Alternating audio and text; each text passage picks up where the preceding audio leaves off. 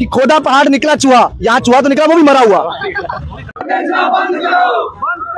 बंद किया था। कि ये समझ नहीं आ रही कि आखिर क्या मजबूरी है जेकेएसएसबी की और एलजी प्रशासन की। अभी केस इनका जो है वो पेंडिंग पड़ा है, जिसमें अभी तक कार्रवाई चल रही है, लेकिन उससे सीख ना लेते हुए जेकेएसएसबी ने दोबारा एक ऐसी कंपनी को टेंडर दे दिया, जिसने 10 से ज़्यादा पेपरों को जो है वो कंपनी में लाखों लोगों जो युवा है जम्मू कश्मीर के, जो एस्पिरेंट्स हैं जेकेएसएसबी के, उनका भरोसा जो है, जेकेएसएसबी और इस एलजी प्रशासन से उठ चुका है। आज हमारा मन ही नहीं करता कोई पेपर देने का। अभी रिसेंटली इन्होंने कैलेंडर जारी किया है आर दस इंपॉर्टेंट पेपर्स का।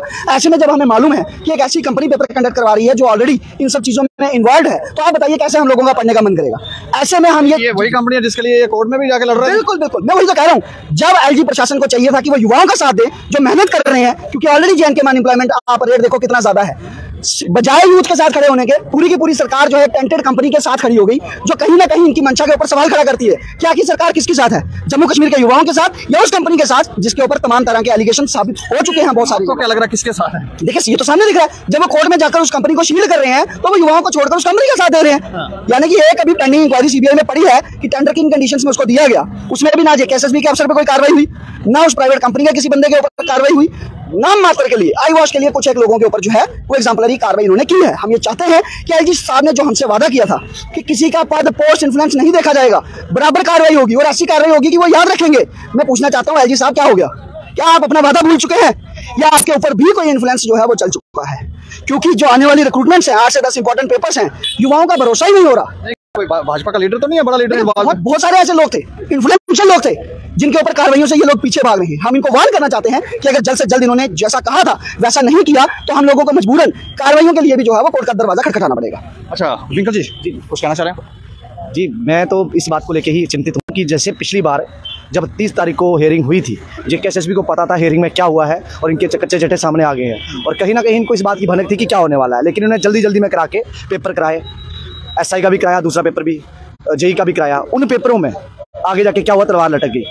और आज ये फिर उसी तरीके से, जैसे अभी हेयरिंग है, अभी हेयरिंग होनी है दो को, लेकिन अगले पेपर चलाने करना छः सात, आठ को शुरू कर दिया ना पेपर का, जिन पे पहले से ही तलवार लटकी है, जिस दिन भी जजमेंट आप होल्ड हुई पेपर कैंसिल भाई क्यों?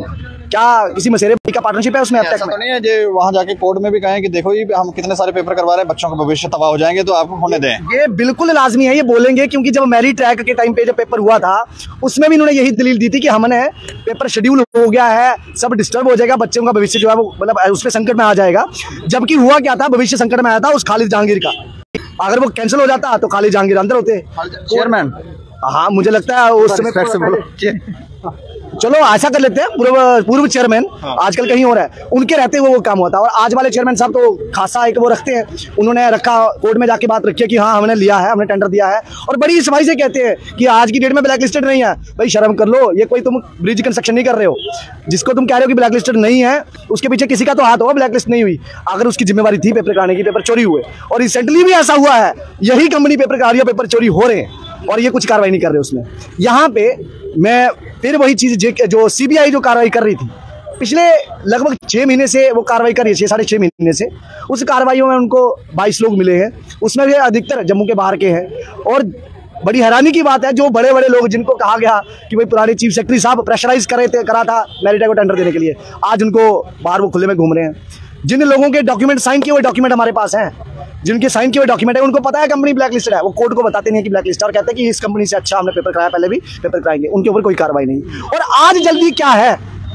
आज, अभी छः सात आठ को, इतनी क्या जल्दी है? पिछले, जब जेके पी एस स्क्रैप हुआ था, उसके बाद बोर्ड बदल गया। इनको लगभग पाँच चार महीने लगे एक कंपनी ढूँढने में। चार महीने। और ढूंढी भी कौन सी? ब्लैक लिस्टेड डोगरी में एक कहावत है अ, कंपनी ढूंढ रहे थे कि अपना भी फ़ायदा ढूंढ रहे थे? डोगरी में हिंदी में देख लो कि खोदा पहाड़ निकला चूहा यहाँ चूहा तो निकला वो भी मरा हुआ। मतलब छह महीने लग के आपने ढूंढी। कंपनी भी ऐसी ढूंढी ऐसी कंपनी ढूंढी जिसका पेपर लीक जो पेपर लीक करने में उस्ताद है। इससे पहले ढूंढी वो उस्ताद थी। भाई अगर ऐसी ही ढूंढनी थी तो पेपर क्यों करा रहे हो? तुम सीधा बोली निकाल। नए चेयरमैन साहब आए हैं वो भी उसी डायरेक्शन पे चल रहे हैं जो पुराने वाले थे। देखो चेयरमैन साहब मुझे नहीं लगता चेयरमैन साहब वो कठपुतली से बन गया वहाँ पे। ये जीएडी से चलता है सारा। अच्छा। जे के एस एस भी जीएडी से चलता है। और ये मैं नहीं कह रहा ऑनरेबल जस्टिस नरगाल साहब की जो जजमेंट है जब मैंने वो पढ़ता हूँ उसमें सामने पैरा नंबर सत्रह में लिखा है कि जीएडी से एक लेटर आता है जे के एस एस बी को उसके बताया जाता है कि इस तरह से तूने ये वाला पेपर करना है। तूने सीबीटी बेस्ड पेपर करना है। और जब सीबीटी में टेंडर नहीं चेंज होता कंडीशनें नहीं बदलती हैं कंपनी पास नहीं करती है तो कंडीशनें बदली जाती है। तो कहीं ना कहीं जीएडी से चल रहा है ये सिर्फ़ दिखावे के लिए लग रहा है कि चेयरमैन यहाँ है। वो जो दफ्तर बन रहा है ना वो भी प्राइवेट मतलब रेंट पे है। तो वो अधिकारी जो है वो भी ऐसे उनको भी कहीं ना कहीं से कोई रेंट दे रहा होगा। अभी आप चाह क्या रहे हैं? जो जुडिशियल इंक्वायरी जस्टिस नरकाल साहब की जो सिंगल बेंच जजमेंट है हमारे ही केस में जो black listing company black listed company ने टेंडर दिया था उसी केस में उस जजमेंट का पार्शल देखो इन्होंने उसमें फुली स्टे लिया है। पार्शल जो इंप्लीमेंटेशन था जो उसके ऊपर जुडिशियल इंक्वायरी थी वो शुरू होनी चाहिए क्योंकि जुडिशियल इंक्वायरी जब शुरू होगी तो इनके कच्चे चट्टे सामने आएँगे। इन्होंने पुराने पेपर को स्कैम जो दबा दिए हैं जो दबा दिए हैं वो भी। उनको भी सामने लाने की ज़रूरत है। वो जो अ, सामने आएँगे जब जुडिशियल इंक्वायरी होगी। और ये जुडिशियल इंक्वायरी को इसलिए बचा रहे हैं क्योंकि उनके पुराने कच्चे चिट्ठे सामने आ जाएँगे। हम जानते हैं अधिकारियों ने हमसे क्या कहा है।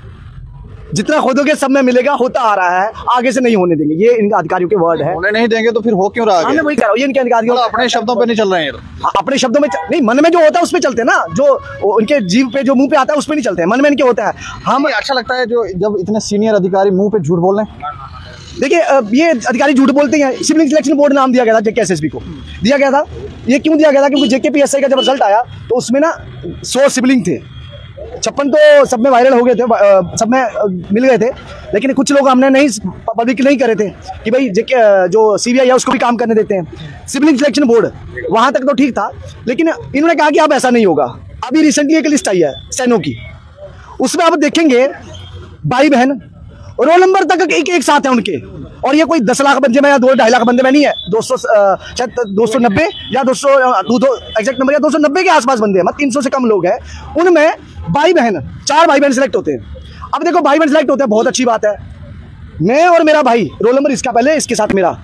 ये और ये इसका भाई, इसका रोल नंबर पहले, इसका इसके बाद। मतलब इसका अगर ग्यारह है तो इसका बारह, एक साथ बैठेंगे। इसका अगर अठारह है तो मेरा उन्नीस। अब यही नहीं रुकते हैं। इसके नंबर अगर आते हैं, पचपन। मेरे भी आते हैं पचपन। इसके आते हैं बयालीस इसके आते हैं बयालीस पॉइंट दो। और और सुन लो उनका कैंडिडेट रिस्पांस लॉग हमारे पास है बराबर टाइम पे आंसर किया उन्होंने। एक क्वेश्चन है इसका जिस, जिस टाइम पे इसने आंसर किया उस टाइम पे उसने आंसर किया है। जिस टाइम पे इसने आंसर किया उसी टाइम पे मैंने आंसर किया उसी क्वेश्चन का। एक दो सेकंड तो आगे पीछे होगा पढ़ के ही कर रहे होंगे कि वैसे ही। एक भाई बैठे हैं दोनों साथ में तो दोनों साथ में कैसे करेंगे? अच्छा। और जब ये बात जेके को बताई गई तो कहते नहीं नहीं ऐसा कुछ नहीं है हम तो वहाँ खुद थे। तुम खुद थे तभी तो पिछली बार। टाइप टेस्ट में एक अधिकारी था नारायण दत्त।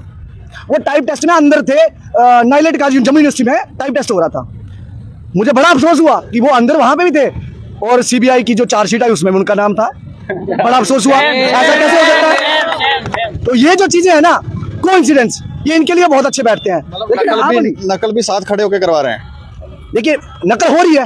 और विंकल बाकी कोई है, इसमें खालिद सतवीर अतुल कोई नहीं जाता वहाँ। अगर हम जाते हैं सेंटर के अंदर तो हमारे पर एलिगेशन आएगा हम नकल करा रहे हैं। वहाँ जाता कौन है? एक तो जो बच्चा पेपर देने जा रहा है या वो नकल करा रहा है। और जहाँ फिर अधिकारी नकल का जो तरीके है ना आपको अगर दिखा यहाँ मीडिया में बताए ना तो लोग मतलब वो लोग कहेंगे हम ही डूब मरते हैं इनको तो शर्म है नहीं। नकल इस तरीके से कर। जो जो ये आज की डेट में जो जे भी चल रही है हमें ये नहीं अधिकारी हमारे अधिकारी हाँ ये बोलेंगे अधिकारी हमारे सरकार हमारी प्रदेश ये यूटी है ये हमारी। सब कुछ हमारा, पैसा जो लग रहा है टैक्स पेयर मनी वो हमारा। समय जो बर्बाद हो रहा है हमारा, मलाई खा रहे हैं ये, और बेड़ा करके कर रहे हैं ये। ये आज बेड़ा करके करके रिटायर हो जाएँगे पेंशन मिलेगी।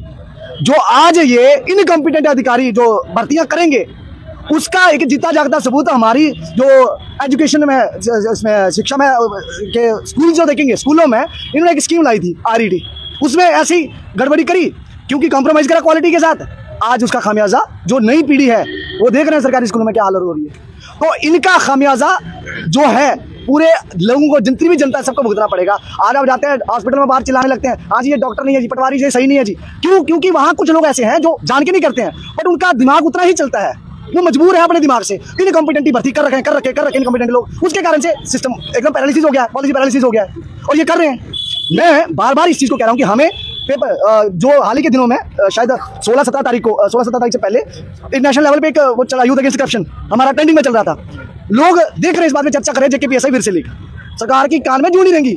और वो तो दूर दूर की बात है ये देखो कि ये देख रहे हैं कि कर कैसे रहे हैं। अरे भाई पेपर लीक कैसे करें उनको तो देखो। दूसरी बात जो लोग इनमें शामिल होते हैं उनके लिए सजा का कोई खास प्रावधान नहीं है। केंद्र सरकार भी अपने आप में निकम्मापन दिखा रही है कि वो एक सख्त प्रावधान वाला कानून लेके नहीं आ रहे। तो भाई केंद्र नहीं ला रही है तो किसने कहा कि केंद्र के सहारे तुम चलो? अगर तुम्हें केंद्र में जाने की तुम ये मंचापूरी है कि हम एक दिन केंद्र में जाएँ? क्या मैंने बोलो बोलो। जो ये है जो लोग लोग इसमें शामिल थे, उनके लिए कोई सख्त सजा का प्रावधान नहीं है। उनके लिए सख्त सजा का प्रावधान हो और दूसरा, जो इन्वॉल्वमेंट बढ़ गया इसको कंट्रोल किया जाए। ठीक है? इससे वो कंट्रोल किया जाए ताकि जो नौकरियाँ वो बिके ना।